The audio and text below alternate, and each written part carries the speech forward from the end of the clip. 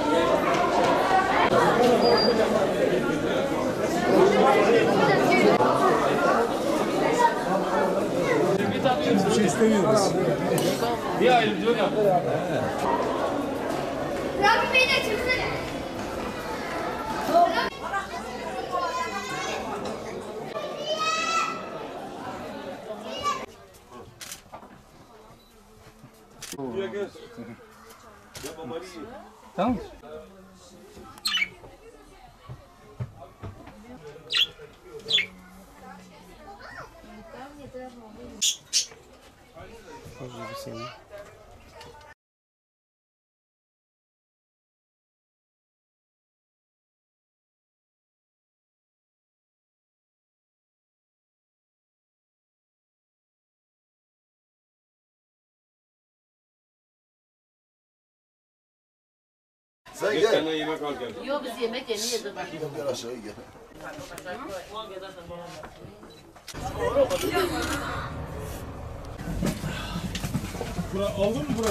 Abi aldık gel gel abi gel.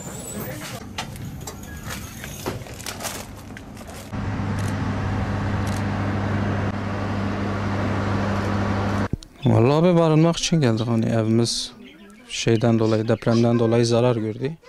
Barınmak için buraya geldik biz. 4-5 gündür buradayız. Eşimle birlikte, ailemle birlikte buradayım.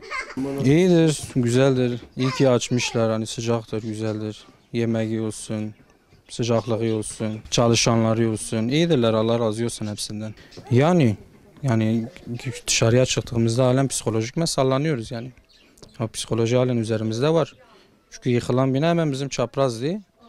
Aşağıya indiğimizde çapraz bina yıkılmıştı zaten. Tabii onun da psikolojisi var. Zaten ondan dolayı da artık eve gidemedik. İşte şeyleri bekliyoruz biz. Raporu bekliyoruz. Rapor gelene kadar buradayız. İyi ki açmışlar burayı milletimize. Milletin çoğu dışarıdadır. Evine gidemiyor. Geliyorlar buraya. Yerleri sıcaktır. Yemekleri geliyor. Odur. Allah hepsinden razı olsun. Dört gün oldu. Ne için geldin buraya? Kaçtık ya ev yoktu ki ev sallanıyor.